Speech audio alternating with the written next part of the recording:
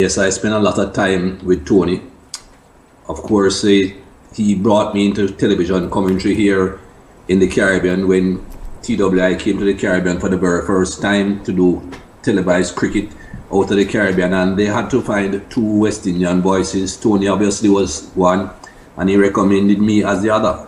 So I owe him a great debt into getting me into television off, off the radio.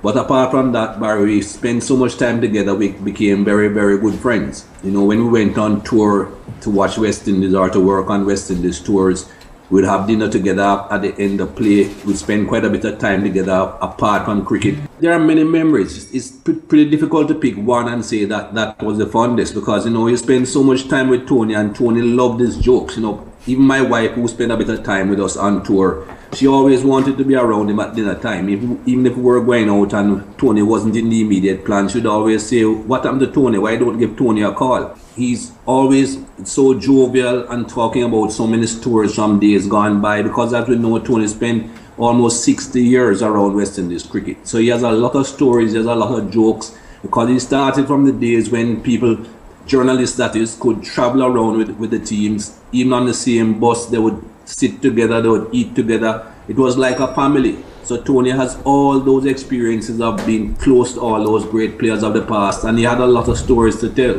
Um, One story that he told me also again this is of course before television days is that he went to australia to work in australia with the west indies team.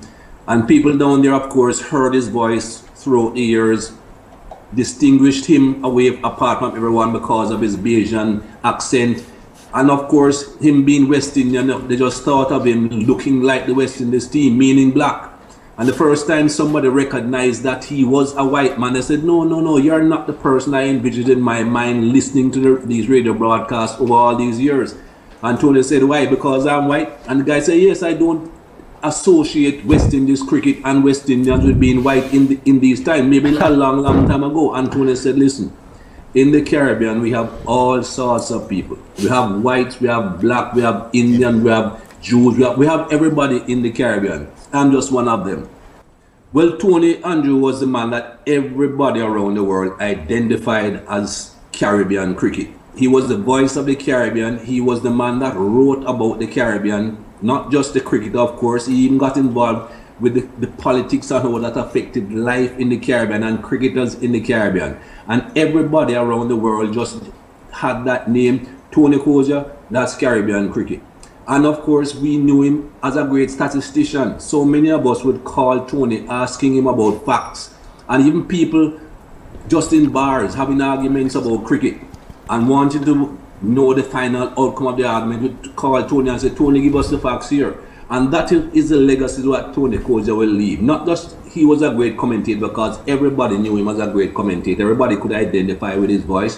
But the fact that he knew so much about West Indies cricket and the West Indian people, the West Indian culture, how everything just blended together.